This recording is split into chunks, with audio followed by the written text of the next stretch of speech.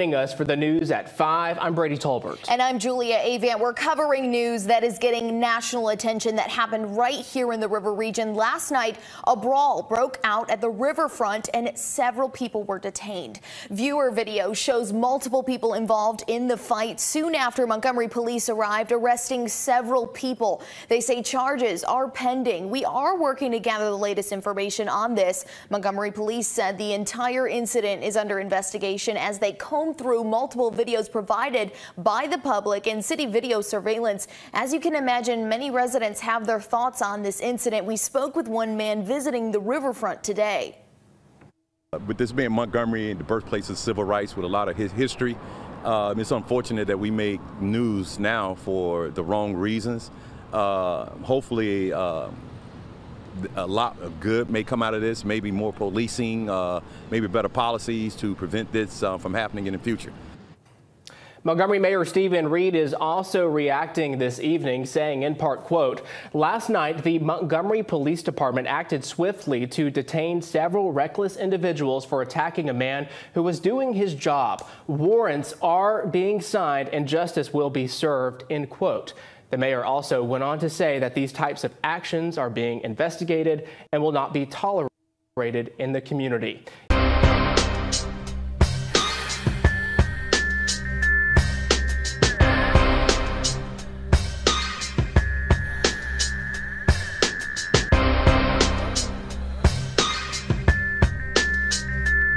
subscribe hit the notification bells every time I drop a video. You will be the first to know about it. All right, so I know you saw the video. So you saw the the news clip, clipping. If you want to see the actual video of this brawl or this fight, or this get back, or this Wakanda Forever Part Three, go on down to the description box in the comments, and I'll uh, leave a link, and we can discuss. But you see, it's under the, this is the Montgomery Advisor Advisor.com, and it says suspects detained after Saturday night brawl on Riverfront Park dock. Now this happened right slap dab in Alabama, what people like to call the birthplace of the civil rights movement. And as I'm watching this video, you know, first thing that comes up is the racial tension.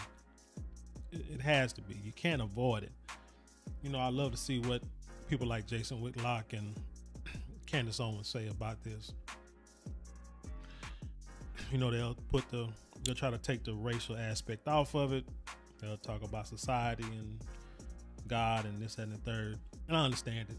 Because in the grand scheme of things, it is just a fight between good and evil, but Sometimes it's not the case because if someone attacks you, now we grew up in a country that was predicated on race. It was built on minimizing someone else's skin color, devaluing someone, devaluing someone due to their skin color. And uh and it uh it's been like that since the beginning of time. Now it's starting to come to a head. And I'm not going to blame Trump. I'm not going to blame Biden because I'm sure they both got, well, I've seen Biden's racist and bigot, bigoted comments and actions that he has done since he's been in office. you can go all the way back to the 70s, probably before then. And Trump, Trump just say some dumb. Well, I ain't gonna say dumb stuff. Trump say stuff to get people riled up for to, to build a fan base. Some of the stuff I don't think he believes sometimes, but I mean, it is what it is. It's stuff like this. You know, this is where the comp- This is where the country. This is how the country began along racial. That's how it was built along racial lines. And now all of a sudden, people want to come out and say, "Oh, we had a black president." Well, not a real black president, but a fake black president. And people say racism no is over. No, it's not. It is not. Like I say, my mother tells me stories of when she was growing up and how she was treated by them folk. And I said to myself, well, hell, if she's still alive, that means they still alive too. So it's the, it's not gone. And now you see younger people doing the same thing that they grandparents and great grandparents did, and they think it's okay. But yeah, so like I said, the grand scheme of things, yeah, it is good versus evil, but this here is you have no choice but to fight along racial lines. You can say people saw one man getting jumped by another man and people came to his rescue. I think one of the first guys that came over and tried to break up the fight was a little, little pudgy white dude with like he had curly hair, but he had like a vest on. So I think he worked there, but it doesn't matter. You know, and they pushed him out the way to to still get to the brother. But when you see a group of one race jump one guy of another race, you cannot fault them. You cannot be upset if they don't even have to know why it's happening. When they see that, when we see this happening, first thing we thinking is, oh, these white boys are jumping this brother. It's on. I don't care if that brother kicked one of them in the butt, tongue kissed the girl in front of him, groped the, groped the girl, whatever, call them all kind of, well, whatever, cussed them out, threw bottles at them. It does not matter. When you see the brawl because you don't know what happened, you don't, we don't know what exactly what was said or what happened before the video started. You see what I'm saying? But when they saw it happen, the brothers came to fight. And unfortunately, in this country, that's what you got to do. Period. You cannot gloss over the racial aspect because that's all it was. This is all that it was. And like I said, it's in Alabama. So that does not help your argument that it's just good versus evil. I wish it was, but it wasn't. So hey, when I saw the video, like I say, shoot, I was like, man, that's what I'm talking about. Like I say, Wakanda forever. And hopefully that'll teach people that you just can't. But you know what? It's not going to change people's minds about another race. It's just not. It's just going to make that person hate that other race that much more. Because one's to be like, see, they all good when they, you know, pile on and all together and jump in one brother. But then when the odds are even, no, no, no, no, no, no. It ain't time to retreat and get back on your boat and say, oh man, it's over. We don't want none. No, you should have thought about that. You should have thought about the consequences. And this is one of them things where when you see something like that, you can't you can't worry about the consequences. You got to do what's right. You got to come to the defense of the defenseless. I mean, he fought his butt off, and he still standing at the end. But hey, that's not how that worked.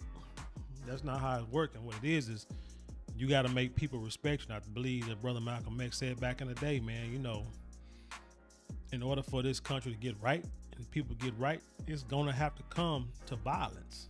And I'm not an advocate or a proponent of violence, because me, I tell you all the time, I'm at an age now where I just want to live in peace. You know what I'm saying? Let me live, let you live. I just want to make it home in the evening. That's it. I just want to make it home in the evening, come home, go to bed in peace, and that's it. Don't want to, you know, I'm saying, don't want no drama, don't want no trouble. But don't get me wrong. If you bring it, I'm gonna give it. It's simple as that. But that ain't what I'm about, you know. But when you bring that energy, man, you know, you got to understand. You got to be ready for the energy, to be brought back. Now, I don't think it would have been too bad if just that one dude was fighting the brother, and that would have been the end of it. Cause I think the brother was gonna get him. But then when the other one started piling on, that's when you know that's when you messed up. But anyway, let's skim over this story a little bit. It says uh, fight began between several white people and one black man apparently over docks space reserved for the riverboat.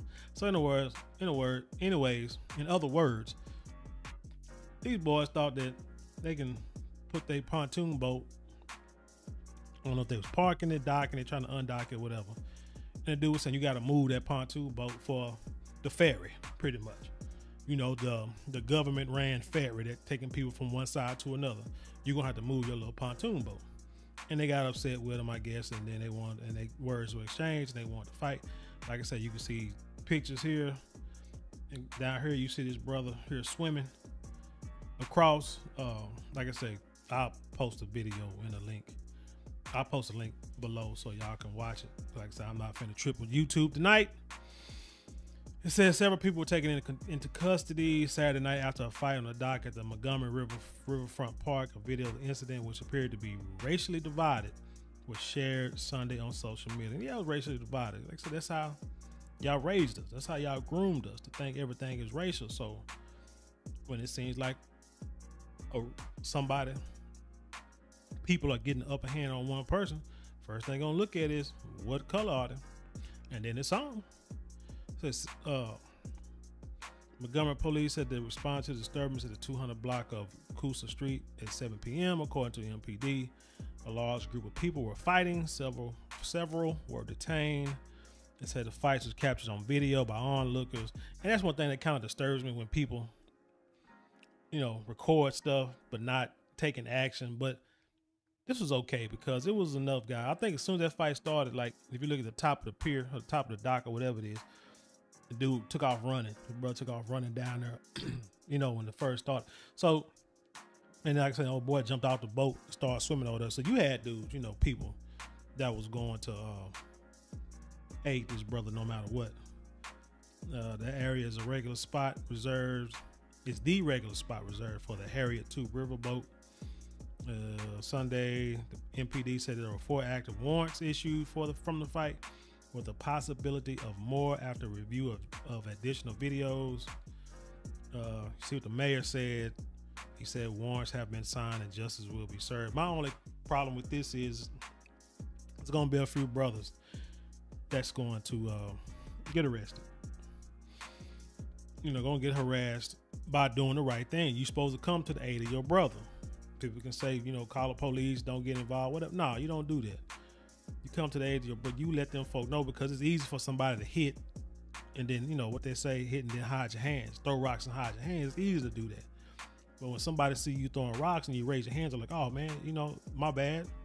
I won't do it again. No, there has to be an opposite and equal reaction to make sure you understand that ain't nobody gonna tolerate that because you because you might just try to do it again next week with the same brother. And I think, and I sure hope he does not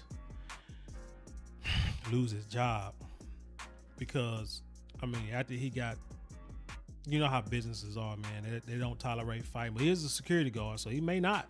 If he's a security guard, nah, he may not. But a lot of places they won't tolerate you fighting, even if somebody hits you first and you retaliate and whoop them, then you know you get fired because you engaged in you know, fisticuffs, but you're just defending yourself, right? So, like I said, I hope that don't happen. But yeah, I know the problem is going to be brothers get uh, arrested. I know them uh, the white guys and the white girl. They're probably gonna get a GoFundMe page and raise like ten million dollars for their defense, and then and then our people gonna have like seventy five hundred dollars. Now I ain't gonna say that, man. Don't put it up. I hope, I hope they do put up a GoFundMe or whatever kind of you know, uh, uh, uh, uh peer, you know, fundraising uh, link, so that we can all put some money on they on us for that for their defense. Whichever one of them brothers get locked up, so send somebody raise money. So you know, somebody try to raise some money so we can send some money down there so we can get these brothers out. Cause you already know what's gonna happen, y'all. You already going you already know what's gonna happen. He said one short video posted on social media by Josh Moon, of Alabama political reporter, shows several white people fighting a single black man who, according to Jasmine Williams of WSFA, is a dock worker. The only audio heard is from witnesses yelling, but it appeared to begin with an argument between the black man and one of the white men. Another white man rushes and hits the black man, who backs up and tosses his hat in the air. Then the fight begins in earnest, and then several white people begin hitting the black man. So see, once you y'all jumped in, it was over it was over. Like I say, better be ready for, ready for the injury. But like I say, man, it's it's sad that this country is built like that. Cause I mean, I'm gonna tell you, me myself, I'm probably one of the most pro-black people you'll probably meet ever met since you know since junior junior high and high school days. but I do understand how this world really operates. Uh, it really operates on money. I mean, once people start realizing that and see the importance of it, unfortunately, the importance of it, you'll see that yeah, you get into a lot of circles, get away with a lot of stuff, get a lot of perks when you have money. I've seen it. I've been through it myself with just a little change I have. But it shouldn't be that way.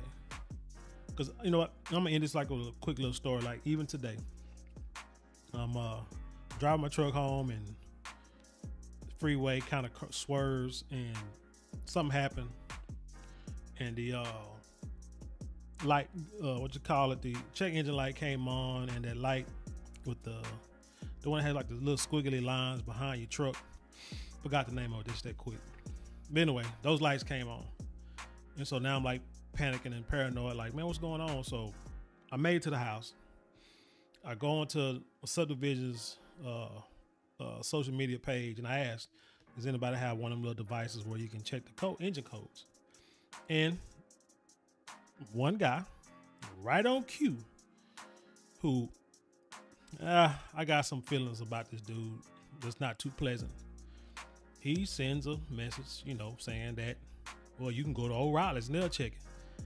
I'm sitting thinking, I just like when he, I just, it, it, irks me, but like it's, it's a history behind that. And usually I normally don't respond to anything he says, nothing at all. But I said, I know I've done it many a times, but I don't think I'm not sure if my vehicle will make it to O'Reilly's. And then another guy posted, you know, and I'm telling, and, and the people that's posting, the guy that posting is he's, you know, one of them, you know, I'm saying he's one of them folk. And then another guy responded, who's also one of them folk, and said, "Yeah, I got one. You know, I'm saying you come down here and use it." I'm like, "Okay, I'll be there in a minute." Went down there, coolest dude, one of the coolest dudes you ever meet. We sitting there talking, you know, acting, you know, talking like we know. I, I've never met the guy personally on a level like this, but we just talking, you know, talking about automobiles and jobs and the weather and traveling and all this kind of stuff. While you know, while we checking these codes on my on my truck, and I'm like, see, this is how it's supposed to be because in my in my subdivision that I live in, you know, you got black, white, Hispanic. Um, I think that's it. I think that's it. But whatever. Everybody, pretty much everybody's cool with everybody. Pretty much. You know, we had this ice storm down here and people having like uh, hot water heater problems or tankless, you know, tankless water heater problems and stuff. You know, people, we was helping each other out to repair, to install. Whenever people had car trouble, you know, flat tires, we changed tires. Air, I mean, whatever. Uh, fixing the lawn equipment. If somebody need a tool, we going down to each other house. I mean, it's just, it's just how this neighborhood is for the most part. Like I said, you got maybe one, two people that I, I could, uh, I, I could do without. But for the most part, everybody's cool, and that's how it's supposed to be. But you also got to think about, you know, the neighborhood we stay in. It's a diverse neighborhood, nice homes, secluded kind of subdivision, big lots. I mean, people around here we respect our properties, and we know that everyone else that comes in this neighborhood who lives in the neighborhood is going to do the same. So everybody's cool, but it's not like that everywhere. So my point of saying that is, it really, you know, race shouldn't be an issue. The problem is, like I said, the country that we live in, this is is embedded in me. You embedded in us to look at look at certain races, other races as enemies because of the things that, yes, we have been through, the things we holler reparations for, whether past, present, or whatever. This was taught to us. This is how you raised us. So don't sit here now when there's get back. Don't be surprised, don't be upset how we react because it's genuine. It's mainly genuine. I could just imagine how they feel, how the brothers and sisters feel in Alabama when it comes to them folk. So, but like I say, don't, don't, uh, like I say, don't, don't try to hide from it now. It is what it is. But anyway, Tell me what you think about this story, man. Like I said, I'm gonna leave the links down in the description box. And I would love to hear everybody's comments on this one. Cause when I saw it, I was like, yeah, man. Like I said, Wakanda forever for real. Don't play with us. We we can live in peace with ourselves. We can live in peace with y'all. But don't bring that don't don't bring that that negative energy because we're gonna give it right back to you. But like I say, tell me what you think. Leave your comments below, and then share it with the world. And with that being said, I leave you in peace, and I'll see you on the other side.